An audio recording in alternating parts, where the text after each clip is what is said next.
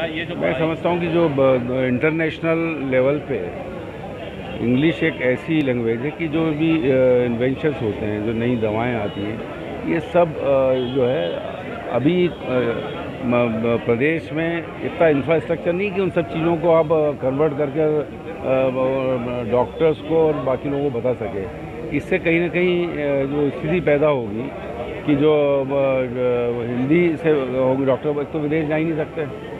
मतलब कुल मिला के विदेश जाने पर उनका बैन लगा दिया। तो जब इंग्लिश नहीं है तो कहाँ से जाएँगे?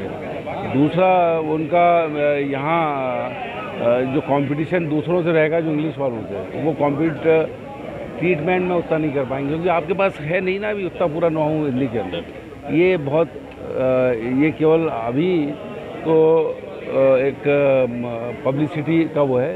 इसके अंदर पहले बहुत से उस मामले में किसी होना था उसकी हिंदी में वॉकुलरी बनना थी वो सब होना थी।